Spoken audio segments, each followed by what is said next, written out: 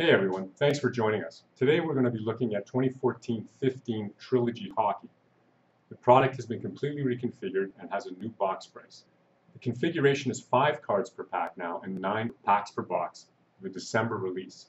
On the product highlights, there's a 3 rookie card subset with 3 awesome parallels numbered to 799, 399 autographed, and 49 inscripted autographed inscriptions. There's 3 tiers of crystal premiers, 20 top rookie cards, highlighted in amazing collectible fashion, and there's veteran crystal too. Apparently these cards are a must-see.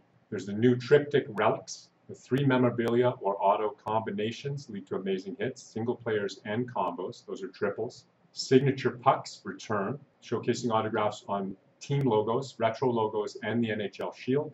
And there's the popular ice scripts as well, Trilogy signature big hit. There's your box break and inner shipper break. So on the box break, you have four numbered chase cards. Most boxes will feature three numbered rookie cards, including one of one press plate and black parallels numbered three, one Upper Deck Crystal Plexiglass card, one numbered rookie autograph, one numbered triptych relic, one additional rookie or triptych relic, and one super premium autograph, including ice scripts, signature pucks, and triptych signatures within that additional super premium autograph the inner shipper break, look at 12 autograph cards, 12 triptych relics, 8 crystal plexiglass hits, 8 premium autographs highlighted by ice scripts, signature pucks, and triptych signatures. There's the level 1, 2, and 3 of the autographed rookie cards, numbered out of 799, autoed out of 399, and then autographed inscripted out of 49. Looks fantastic. There's the triptych relics, three individual cards that make a stunning sequence.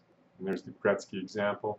And there's a picture of the regular card and the Trilogy Crystal, numbered out of 275. So that's 2014-15 Trilogy Hockey. Thanks very much for joining us. And make sure you subscribe, follow us on Twitter at UniversalDST, and like us over on Facebook. Thanks.